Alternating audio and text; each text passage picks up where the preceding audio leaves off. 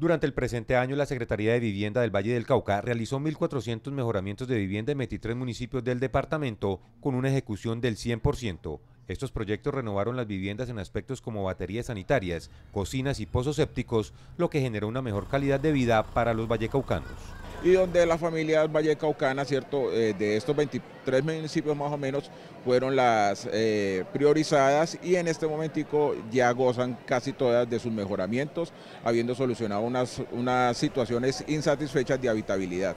La Secretaría de Vivienda efectuó un acompañamiento a los 18 municipios no certificados en saneamiento básico y agua potable, logrando que siete fueran nuevamente certificados y así retomar el manejo de sus recursos. La señora gobernadora siempre ha manifestado que para ella lo más esencial es que sus municipios, sus alcaldes tengan el manejo de sus recursos, por ende con el trabajo articulado entre la Secretaría de Vivienda, ¿cierto? Y los municipios logramos entregarles nuevamente su competencia y que lo volvieran a certificar.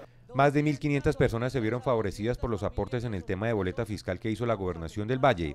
Esto permitió agilizar los trámites en las escrituras de las casas, beneficiando especialmente a los vallecaucanos que adquirieron vivienda de interés social. Cuando las personas vienen acá a la gobernación a solicitar su boleta fiscal para hacer el trámite de sus escrituras, para todo el tema de vivienda de interés social, la gobernación aportó exonerando a estas personas para que no tuvieran que pagar un solo peso. La apuesta para el 2017 es disminuir el déficit habitacional que tienen los municipios vallecaucanos, brindar apoyo a las organizaciones populares de vivienda para que alcancen el sueño de tener casa propia e iniciar proyectos de vivienda nueva, los cuales ya están estructurados y listos para ejecutarse.